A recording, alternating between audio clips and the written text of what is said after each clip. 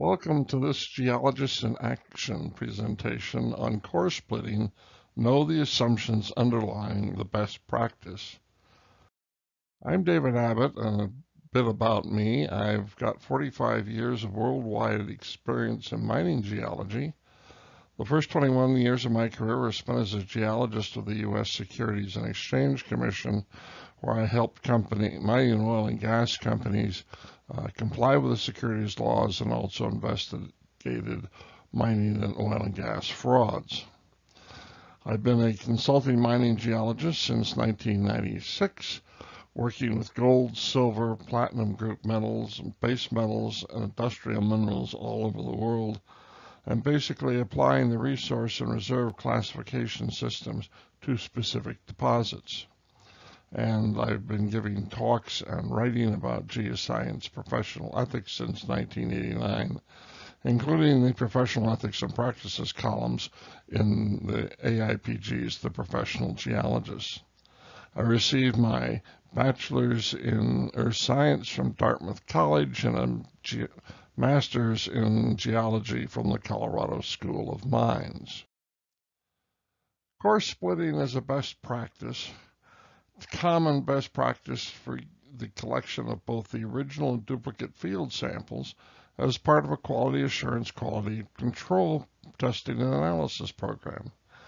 But this common best practice inherently assumes that mineralization is statistically homogeneous throughout the core. Therefore, one should expect a high degree of correlation between samples and should have correlation coefficients of R squared, values of 0.9 or better, if the collection, preparation, and analytical procedures are accurate. The problem with the practice occurs when this doesn't happen, when the seldom stated assumptions underlying the practice are not met, in this case, that the sample is statistically homogeneous. And what do we mean by statistical homogeneity? It's a must for sampling. And it's a scale issue, as pointed out by Turner and Weiss in their 1963 structural analysis of metamorphic tectonites. As we see in the top row of figures, uh, if you're looking at a pluton and small areas within a pluton, why areas 1 and 2 are not the same in detail, but statistically they are the same. Whereas when they go to a much smaller scale, in this case a um, thin section scale, uh, as in the lower level, why the two portions of that thin section are not the same because one type of mineral, uh, the micas, uh, kind of like bacon, are not present in both slimes. So, core splitting procedure, the, you collect the duplicate samples by, in two steps. The first, the core is sawed in half, with one half being collected as the original field sample for analysis, and the other half is retained as part of the core library. A duplicate field sample is collected when the library core half is sawed in half again, uh, being a quarter of the whole, uh, and so one quarter is retained and the other core, quarter of the whole is submitted for duplicate analysis. And here we have a picture of a um, core box that has both been split in half and part has been quarter sawn on to collect duplicate field analyses.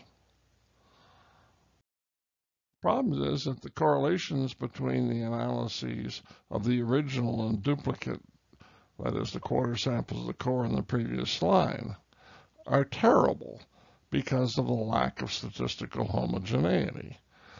You know, their platinum and palladium's around half, but that's still not all that good. Gold is terrible.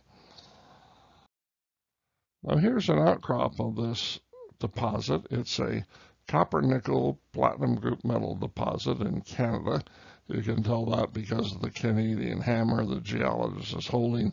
These are shield rocks. They're hard and the hammer is in the top of a saw-cut channel sample, uh, which is essentially equivalent to a core sample. And I ask you if you were to take a similar channel or core sample and move it a foot or two to the left or right of that existing channel, would you get the same analyses? You would not because the mineralization is not statistically present throughout. Uh, you can even see some of the crystal sizes under her feet.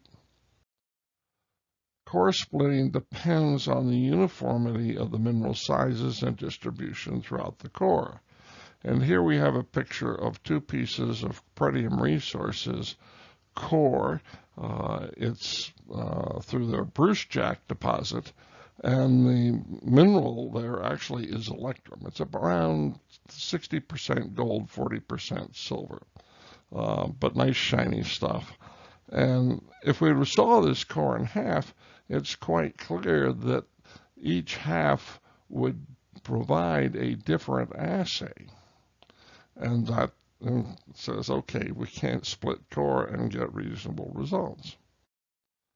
So clearly the standard practice of splitting core doesn't work for these deposits because the basic assumption that the mineralization is uniformly distributed throughout the core or channel samples and outcrops or mine faces, whatever, is not met using larger diameter core or even twinning large diameter core would solve the problem.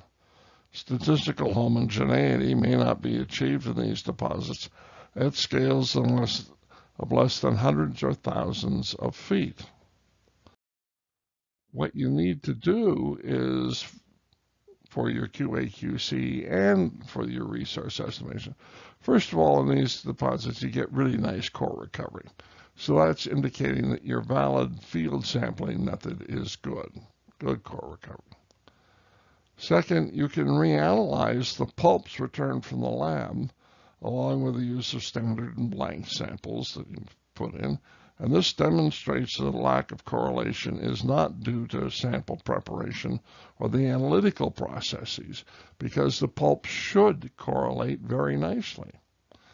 Uh, and you can also use these to check um, with other labs. Um, in deposits like these, the only use of thousands of sample analyses taken from hundreds of drill holes throughout the deposit, combined with careful geological modeling of the deposit, allows a reasonable estimation of overall metal grades and the estimation of mineral resources and perhaps ore reserves. It takes a lot of data and careful analysis of the geology before you can estimate reserves with these sorts of deposits. So in conclusion, whether the so-called best practice is really applicable to the job at hand must be decided on the basis of professional judgment of what you're doing. When you decide to deviate from a published best practice for sound scientific reasons, you should describe in detail in your report what the so-called best practice is and why it was inappropriate for what you were doing and why the method you used was better. And if you become aware that a best practice is being proposed, actively urge that those proposing the best practice include a description of the proposed best practice, what the underlying assumptions are that must be met in order for the best practice to be valid. Thank you for your attention.